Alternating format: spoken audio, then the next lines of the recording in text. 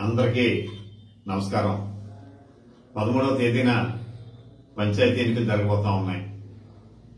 మరి కొంతమంది గ్రామాల్లో తప్పుడు ప్రచారం చేస్తున్నట్లుగా మరి నా దృష్టిలోకి రావడం జరిగింది. మరి మన అభ్యర్థులు గెలిచినప్పటికీ సర్పంచులుగా వార్డు మెంబర్లు గెలిచినప్పటికీ పెత్తనం వారి చేతిలో ఉండదు. ప్రభుత్వం మా అధికారంలో ఉంది మా చేతిలో ఉంది.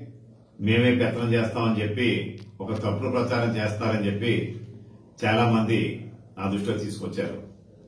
దేశానికి ప్రధానమంత్రికి దేశంలో ప్రధానమంత్రికి రాష్ట్రంలో ముఖ్యమంత్రికి ఏ విధమైన అధికారాలు ఉన్నాయో అంతకన్నా ఎక్కువగా మరి సర్పంచ్కి ఆ గ్రామం మీద పూర్తి పెత్తనం ఉంటుంది ఇందులో ఎటువంటి అనుమానం లేదు. ఇంకొక విషయం మేము గ్రాంట్లు రానియం అని చెప్పి అంటున్నారట.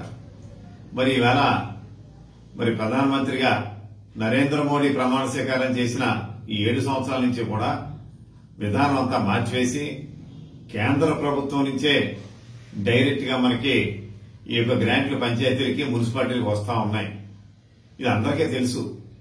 ఒక్కసారి ఆతల వాళ్ళు ఏమైనా ప్రచారం చేస్తా ఉంటే వాళ్ళని ఆయా పంచాయతీ కాడ తీసుకెళ్ళండి. గత ఐదు సంవత్సరాల నుంచి రాష్ట్ర ప్రభుత్వం నుంచి ఎంత గ్రాంట్ వచ్చింది?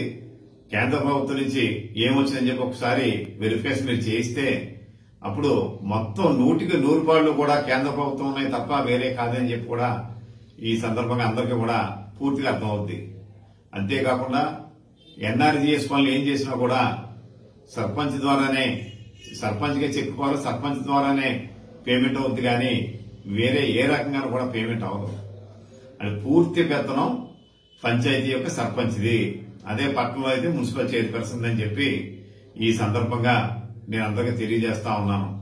ఇంకొక ప్రచారం ఏంటంటే ఈవేళ వాళ్ళకు వస్తున్నటువంటి పెన్షన్ గాని రేషన్ కార్డులు గాని లేదా మన కొత్తగా ఇచ్చినటువంటి ఇళ్ళ పట్టాలు గాని ఇంకా ఇతర సంక్షేమ కార్యక్రమాలు ఇవన్నీ కూడా మరి మా సర్పంచ్ నెగ్గకపోతే రద్దు చేయించేస్తామే అని చెప్పి మాకు కూడా తిరగకపోతే రద్దు చేసేస్తామని చెప్పి మరి ఒక అది కూడా ఒక ప్రచారం చేస్తున్నారట.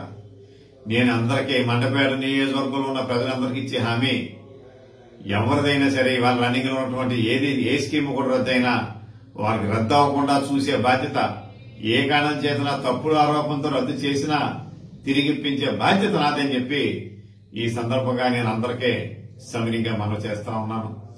మరి ఇక్కడ ఈ యొక్క ఎవరైతే ఇంకా అరువులు మరి ఈ ఇళ్ళ స్థలం రాని వాళ్ళు ఎవరైతే అరువు అరువులైనటువంటి లబ్ధిదారులు ఎవరైతే మిగిలి ఉన్నారో అలాగే ఇతర సంక్షేమ కార్యక్రమాలకి ఎవరైతే ఇంకా అరువులు ఎవరు మిగిలిపోయి ఉన్నారో వాళ్ళందరికీ కూడా ఆ యొక్క సంక్షేమ ఫలాన్ని అందించే బాధ్యత కూడా నాదని చెప్పి సందర్భంగా మనవి చేస్తూ మరి రేపు పదమూడవ తేదీని జరగబోయే ఎన్నికల్లో మరి మంచి అభ్యర్థుల్ని మీరందరూ పెట్టుకున్నారు మన మీ మీ గ్రామాల్లో. మరి వారికి వార్డు మెంబర్కి మీరు రెండు ఓట్లు వేసి అత్యంత మెజార్టీతో గెలిపించాలని చెప్పి మిమ్మల్ని అందరినీ సవనీయంగా నేను కోరుకుంటూ అందరికీ నమస్కారాలు.